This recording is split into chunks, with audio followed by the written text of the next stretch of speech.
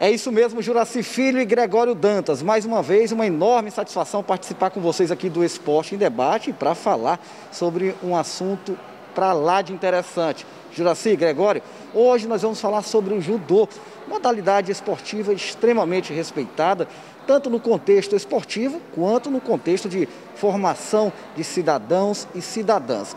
O judô, para quem não sabe, é uma modalidade derivada do jiu-jitsu. E é sobre esse assunto que eu converso agora com o nosso amigo Rodolfo Leite, presidente da Federação Maranhense de Judô. Seja muito bem-vindo ao Esporte em Debate, Rodolfo. Muito obrigado. Rodolfo, vamos começar aqui falando sobre o atual cenário, esse contexto de pandemia, de que maneira é, essa situação acabou afetando a prática do judô aqui no Maranhão. Bom, é, quando em 2020, quando começou a pandemia, né, todas as modalidades elas tiveram que ter suas atividades suspensas. Né? A partir de julho do ano passado, né, é, os protocolos eles foram favoráveis à volta das atividades. Né? Nós voltamos junto com as academias de musculação. Né? Em três meses, as atividades em academias elas já estavam acontecendo de forma natural. Né? Nós ficamos prejudicados também com a volta da modalidade nas escolas. O judô tem um público muito grande escolar, de crianças e adolescentes. Né? Nas escolas o judô ainda não voltou, né? mas a maioria dos adeptos estão é, voltando às academias e já estão na prática normalmente.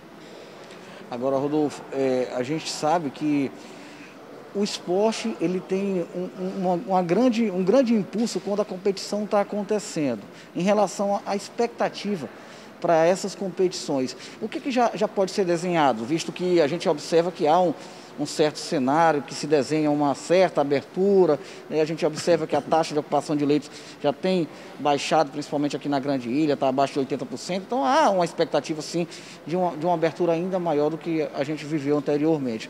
Com relação à possibilidade de competições, o que, que a gente pode dizer? Bom, desde o ano passado, é, apenas um estado conseguiu fazer evento presencial com competição de lutas normais, que foi o estado da Bahia, com um protocolo bem rígido. Aí né, eles fizeram testagem de atletas, né, mas era uma outra, um outro momento, uma outra realidade, ainda não existiam as vacinas. Né, a, a gente sabe que São Luís e o estado do Maranhão está numa situação avançada dentro desse cenário nacional de vacinação. Então a nossa perspectiva é muito boa para a realização dos eventos. Nós não conseguimos fazer nem no ano passado, nem no primeiro semestre, mas pretendemos reiniciar o nosso calendário a partir de agosto, com eventos de competição e também com os eventos de cursos, que são é, os eventos realizados pela Federação Maranhense de Judô. A gente sabe que o judô é um esporte literalmente de contato, Rodolfo. De fato, é possível fazer um, um, uma competição ou um treinamento é, seguindo os protocolos de segurança sanitária? A testagem, por exemplo, seria uma, uma alternativa importante? Bom, nesse evento que eu falei, que aconteceu em Salvador, houve testagem dos atletas. Né? Essa é uma dificuldade para que a gente possa alcançar esse, essa situação de testagem, porque isso aumenta o custo do evento. Né? E no caso da federação lá da Bahia, eles têm um forte patrocinador que, que proporcionou isso a eles. Né? E para a gente é, é uma realidade diferente, mas enfim. Além da testagem, além do, é, do protocolo rígido também existem os questionários que podem ser distribuídos, né? e isso faz com que o evento ele possa acontecer sim. Os eventos já estão acontecendo é, internacionalmente. Na Europa, as seleções já disputam, os treinamentos já estão acontecendo normalmente. Aqui, a gente já chegou numa situação de, de normalidade de treinamento né? e a gente pretende levar esse, essa realidade das academias e agora também vamos ter a volta das escolas, né, com a prática, Sim. levar para o evento da competição. Claro, com um controle maior, controle, o controle dos atletas já vem sendo feito, só que a gente precisa também é, mensurar se vai poder ter público, o controle do pessoal que vai trabalhar no evento, enfim. Tudo isso vai estar é, descrito no protocolo, né, que vai trazer confiança para que a gente possa fazer o evento. Começo da sua resposta, Rodolfo, você falou na palavra dificuldade, né? Não tem como a gente falar sobre esporte. Isso não é uma particularidade do Maranhão, é a nível de Brasil mesmo. E, e não mencionar a, a dificuldade que atletas, que, que amadores, que aqueles que precisam participar de competições acabam enfrentando nesse país. Com o judô não, não tem sido diferente, Rodolfo? É, na verdade, assim, é, a gente, por um lado, tem uma modalidade que é muito procurada. Né? Então, é, a gente seria atrativo para que as empresas viessem a, a, patrocinar a modalidade. Mas, por outro lado, é, alguns mecanismos para a gente chegar a esse patrocínio eles acabam dificultando. Né? A dificuldade sempre existiu para todos. A Federação Maranhense de Judô ela sempre buscou ser autossuficiente, né? mas com essa parada da pandemia, com a falta de eventos, com a falta de, é, dos praticantes, claro que a nossa, a, a, nossa receita ela diminuiu bastante. Né? Fazer um evento com todo o protocolo, controlando, é um evento, são eventos que têm um custo muito alto. Né? Sempre que a gente fez eventos interestaduais, intermunicipais, tivemos o apoio tanto da prefeitura quanto do estado, através da lei de incentivo. Mas os eventos que são os eventos da federação que acontecem é, dentro da cidade de São Luís, dentro do estado, Sim. que são eventos que, que talvez não tenham esse apelo de trazer atletas de outros estados, né? esses a gente sempre conseguiu fazer via federação. Né? Então essa dificuldade é real né, de conseguir patrocinadores, tá? é, é, não é fácil mas a gente continua nessa busca para ver quem são as empresas que querem se aliar a uma modalidade muito praticada e tem muito retorno com pais, com, com o público, enfim, com a sociedade em geral.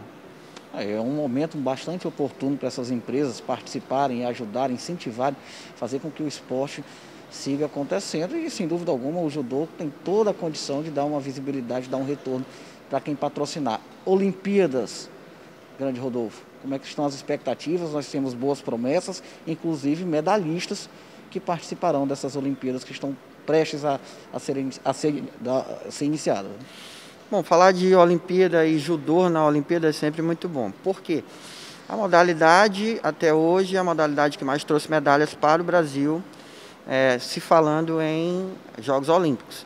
Aí a seleção esse ano também tem grandes expectativas de trazer resultados. Temos atletas olímpicos é, que, que já foram medalhados né, em outras é, edições das Olimpíadas, né, que estão integrantes ainda da seleção e que vêm apresentando resultados no circuito mundial, o que os capacita a serem medalhistas nesse ano na Olimpíada de Tóquio. Né, nós temos Podemos destacar é, os atletas da categoria peso pesado, né, que já são o Rafael Silva, que já, é, já tem duas medalhas olímpicas de terceiro lugar, e está também nas primeiras posições do ranking mundial. Temos a Maria Suelen também, que é uma atleta que já ganhou várias medalhas em mundiais também, e chega agora é, para a sua terceira Olimpíada já com bastante carga de experiência para conseguir essa medalha. A Olimpíada já, né? já, já, já, carrega uma experiência. Exatamente. Né? Temos é, uma atleta que já tem medalha olímpica e que já foi bicampeã mundial, que é a Mayra Aguiar. Apesar de um período longo de, de contusão, ela chega também muito bem cotada para ser medalhista nessa Olimpíada. No Rio de Janeiro ela foi terceira colocada. E temos mais algumas categorias que chegam também, mais dois ou três atletas que podem chegar a disputar medalhas. Né? A, média de medalhas do judô é entre dois, três, duas, três, quatro medalhas em Olimpíadas. Esse ano, na edição do, do, de Tóquio, vai acontecer a disputa por equipes, que é, ainda não havia acontecido nas edições anteriores. O Brasil chega como um dos é, postulantes à medalha. Nos quatro mundiais que aconteceram é, as disputas por equipe, o Brasil ganhou medalha em três. No último Mundial que aconteceu esse ano, nós somos terceiro lugar. Então a gente chega Maravilha. também credenciado para mais uma medalha na disputa por equipes. Rodolfo Leite, muito obrigado pela sua participação aqui no Esporte em Debate. Eu queria agradecer a oportunidade e dizer que, como foi falado no começo, o judô, além de uma modalidade esportiva, é uma modalidade educacional. Forma cidadãos, ajuda também na formação da criança, né? E assim, é, a gente tem muita procura por esse público, né? E é sempre um prazer vir aqui falar com vocês sobre a nossa modalidade. Nós que agradecemos a sua participação e estamos nas expectativas grande Rodolfo, para que se retorne aqui ao Esporte em Debate para falar dos medalhistas né, da, da, da, das Olimpíadas que a gente está prestes a acompanhar. Muito obrigado mais uma vez, Juraci Filho, Gregório Dantas, nossos telespectadores da TV Assembleia. Conversamos com Rodolfo Leite, presidente da Federação Maranhense de Judô, e as expectativas nesse momento giram em torno das Olimpíadas. Eu volto com vocês aí nos estúdios.